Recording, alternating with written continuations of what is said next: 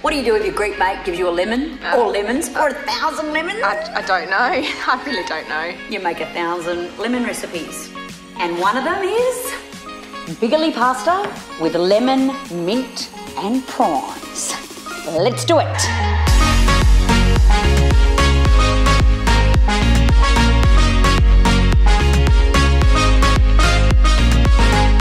Okay, so I am using Bigoli pasta.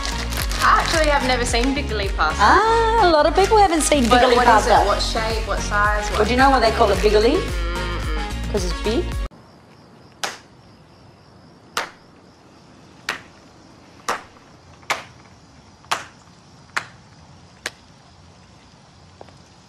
See, it's it's like a spaghetti, but it's got like grooves. Ah. So when you're doing like a light kind of sauce that I'm doing today with lemon, a bit of oil and garlic and not a lot of heavy sauce, Yeah. this will help it stick to the pasta. It'll scoop it all up in those little, Little groove.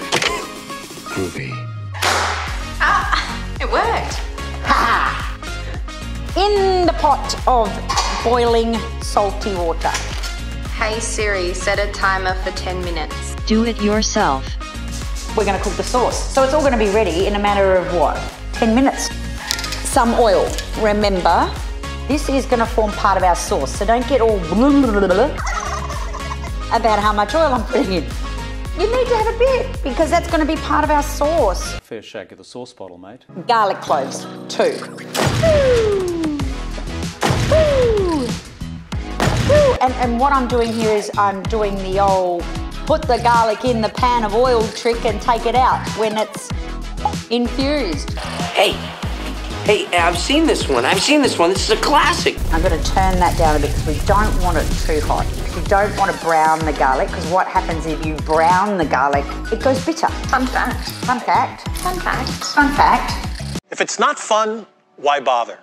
We are also going to use some flaked almonds and we want those toasted. So I might even get those on too. Oh my God, we're going to do two things at once. Oh my God. So I see we're cooking with prawns today. We sure are. What is a surefire way to make sure it's cooked perfectly and Okay, okay. These are actually Queensland tiger prawns.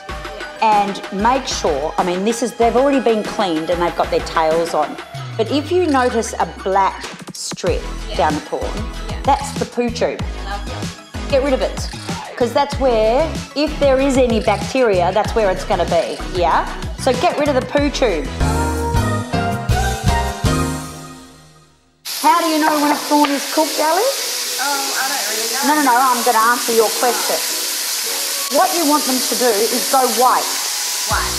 That's right. Yeah, that's right. So the way to know if a prawn is cooked is there's no transparent bits. So while that's going, over here, almonds are going in to be toasted. That's kind of what it is when you're cooking sometimes. Bit of pepper on the prawns.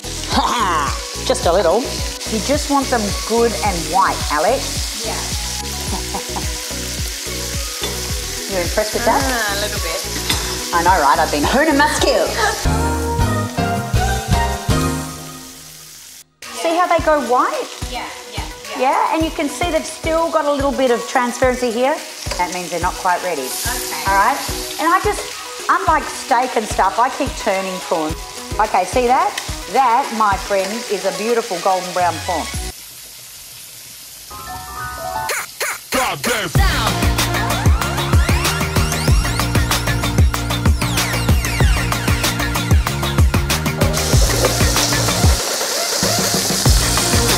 Okay. Oh That's your pasta. Okay. Right, I'm gonna put a bit of this in. We've got things to add. Okay. So, we're gonna do the zest of one whole lemon. This is to add a bit of sunshine into your life. Then we've got some juice. You don't need a lot, about a tablespoon. Oh, that just smells incredible. That smells really nice. Yeah, really fresh, something fresh.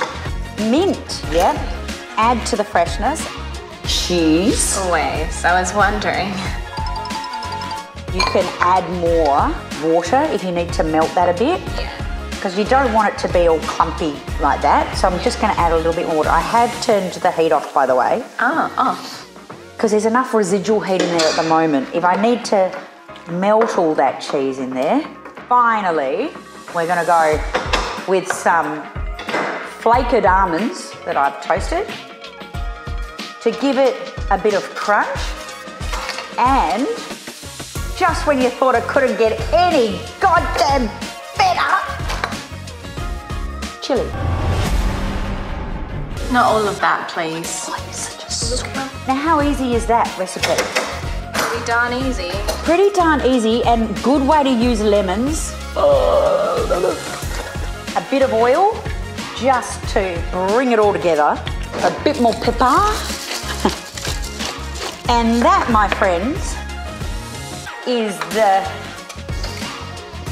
oh, recipe number one of 1,000 lemon recipes. Bon appetito.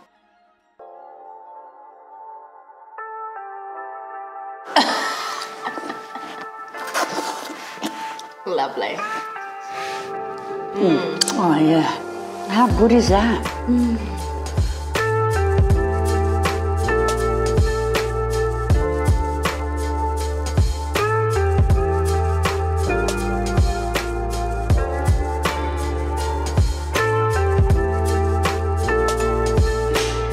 Go on, press that subscribe button. You know you want to. Go on, go on, go on, go on. Press it. And the little bell so you know when I cook stuff. I love you.